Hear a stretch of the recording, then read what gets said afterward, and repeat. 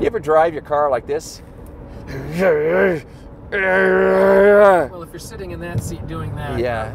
you're. Or you're from London. So, let's talk about how to be happier when you're driving. and making the world a happy place. Yes.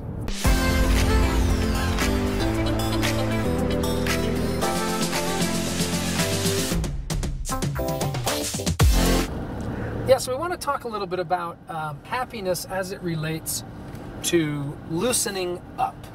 You know, I think of uh, Rodney Dangerfield. Hey, hey, oh, come on. uh, uh, uh, uh. like physically. Yeah, you know, uh, he's got- he always loose grabbed his sort of a tie. You know, you probably don't know who Rodney Dangerfield is if you don't look him up. Oh, that's so true. Gotta It's look him up. Yeah. But loosen up with people, loosen up, lighten up when it comes to, um, you know, your your your hot buttons. You know, your temper, your um, patience and tolerance. Yeah. What triggers you? You know, how do I control people. that stuff? Right. Yeah, right. So, like for example, you know, here we are out in a car, and we, we thought we would shoot this one in a car because, generally speaking, when you're out driving, this is when you have the best opportunity to practice patience and and- control. and, lightening up and letting people be because of road rage. Some interesting statistics Let's hear them. 80% of US drivers admit to significant anger, aggression, or road rage in the past year. Now, allow me to elaborate 80. a little bit. When we talk about road rage, the official definition of road rage is attempting or succeeding with your car in hurting someone. Jeez. So hitting their car, hitting them, uh, some sort of violent act on purpose. And that's 80%. no, no, no, no. That's 80% Oh, have okay. admitted to at least significant anger, Okay. aggression, or road rage. Oh, okay, okay, I got you. Most people will fall into the category of significant anger, and Yeah. many, mo- many, but not that many, will be aggressive. So the aggressive driving is what people confuse with road rage. Yeah. You know, where they're swerving or cutting people off, Okay. or giving them the bird, Yeah. or whatever.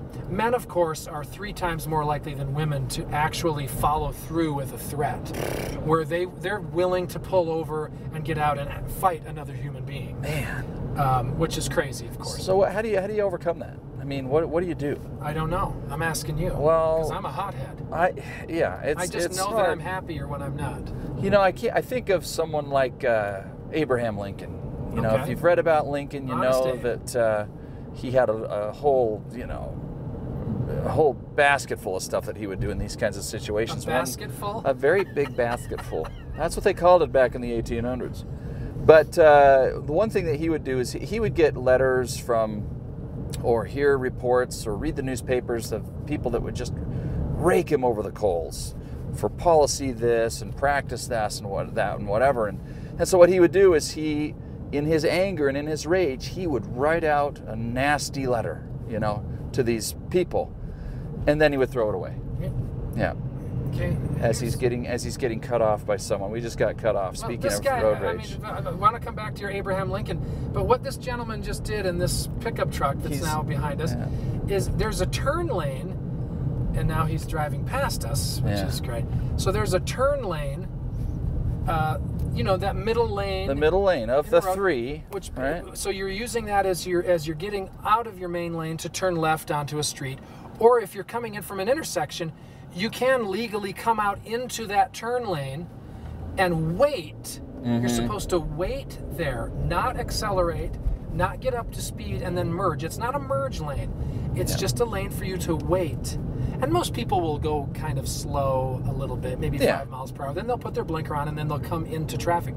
This guy used it as an Indianapolis 500 Yeah. pit stop re-emergence lane as he swerved out into it, scaring me a little bit, thinking he was going to come into traffic. He's driving right next to us. You couldn't see it on and camera, but speeding up Yeah. to make this merge. It's a turn lane. yeah, It's- not not to mention the person coming the other direction that might be might wanting wanna turn use the other day. Yeah, the other way. Anyway, Uh, we get we digress. so Abraham Lincoln would throw away the letter. Yeah, Yeah, it was filled just filled with vitriol, filled with Yeah. revenge. so one of the whatever. yeah one of the big things that's been talked about in the in the past few years is this idea of emotional intelligence. What's emotional intelligence? Well, you've got your IQ, Right. which is your intelligence quotient, but you also have your emotional quotient. And the argument is that your emotional quotient is much more important than your IQ because it comes down to stimulus and response.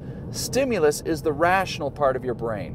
But the emotional part of your brain, what am I going to do before I respond? And so Lincoln was a master at emotional intelligence because it's that little space between stimulus and response. How are we going to respond to this situation? He slowed it down, he calmed down, and then it was done. He was gone, and, and uh, he, uh, he appropriately responded in a way that wasn't going to offend, and even it created the opposite. It would drive his detractors crazy because they were trying to instigate him Yes. to to be also uh, also be angry, and he he, He would was just great. calm. Yeah. Yeah, yeah, I love that. Yeah, that's that's huge uh, advice, especially if you know you're going to be driving a lot. You know what I mean?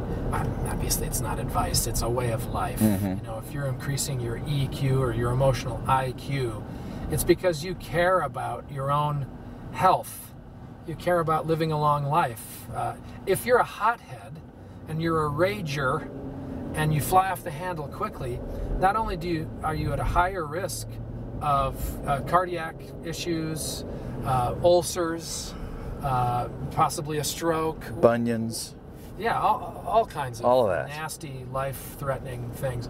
Um, but you also sort of indirectly put yourself in danger of getting the crap kicked out of you Yeah. by someone who doesn't take kindly to Yeah. your hot-headedness or who themselves. See, that's the problem when you're in traffic and you're driving along. You have no idea who anyone is, Mm-hmm. what they're capable of. Are they packing heat? Are they temporarily or permanently insane? Mm-hmm. You know, just keep your eyes forward.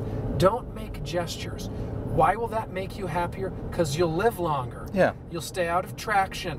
You won't need a copay for a doctor's visit. You'll you'll be safe. It's better to be alive than right. You know what I mean? Or dead. or dead. Yeah. I was trying to be clever. Yeah. The other thing to remember too, especially when you're driving, is that nobody cares about you. It's not a personal attack on you, unless they do know you or they're being just jerks. Most people simply are just in their own little world. To you, to them, you're just a car, or you should be. You're just another vehicle. So you don't have to take personal attacks like somebody's, you know, attacking your power and your manhood, That's right. your identity. It's just someone trying to get into your lane and they're being buffoons by not blinking. Use the turn signal, by the way. Oh gosh. My number one pet peeve. But I know you're Oh. not doing it to personally offend me, but it does drive me nuts. Yeah. Yeah. And then finally, um, the people most likely.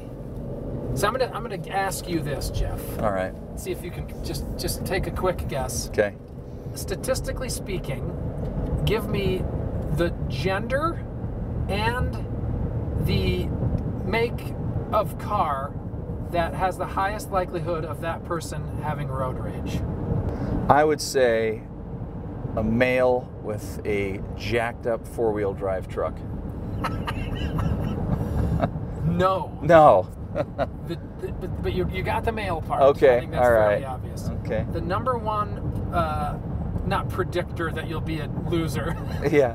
but the, those who are most uh, uh, likely to be involved in road rage are males aged 35 to 50 driving a blue BMW. Oh, brother. Talk about, you know, Wow. granulating. Specifics. Yeah, yeah. That's Narrowing crazy. it down your specifics. So if you are 35 to 50 and you're a man and you drive a blue BMW, we beg you to Yeah, seek help. Get another car. Get anger management Get another color, Or yeah. read the IQ, the EQ book. Yeah. What's the book? Uh, It's called Emotional Intelligence 2.0. I think the guy's name is, I want to say Caldwell, but uh, just look up the title. It's a great book.